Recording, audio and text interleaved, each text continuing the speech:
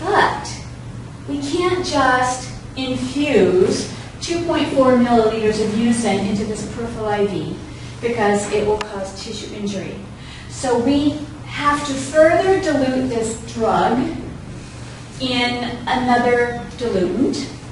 We use normal saline or sterile water. Or we use IV fluid, like D5, half normal saline, because you might mix it up with some of the IV fluid in it that's at the bedside. But we need to dilute this medicine more. You need to figure out how much do I need to dilute it by. So, let me show you another handy thing. Which is um, my total dose that was ordered. So this was a 600 milligram dose. So dose ordered divided by the maximum allowable concentration, which is listed in your med reference and on the MAR, which in this case, it must be 30 milligrams per milliliter.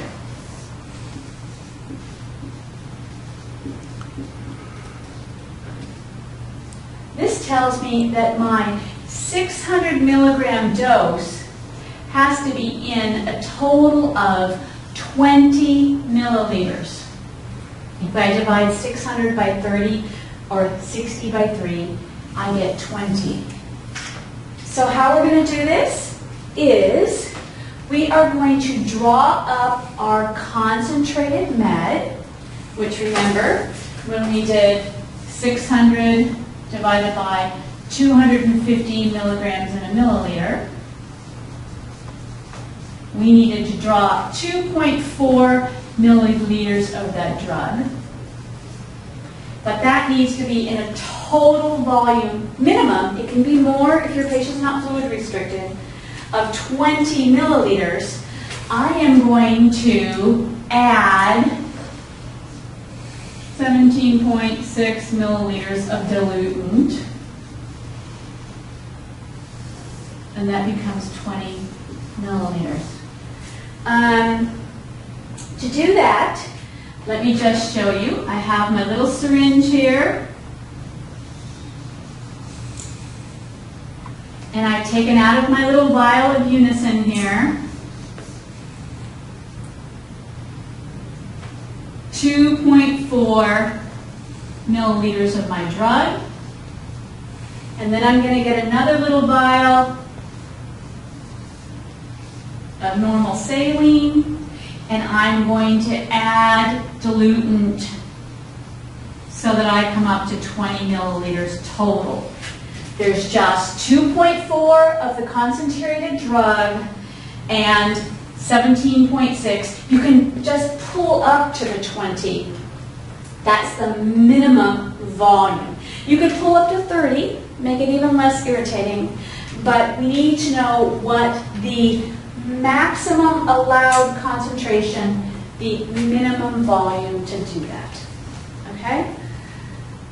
We'll go over more of these um, when we're doing our med simulation, because this is the hardest thing to figure out. But if you could just remember, the first step is what do I want? What's my ordered dose? And what do I have to work with times the volume that I have to work with?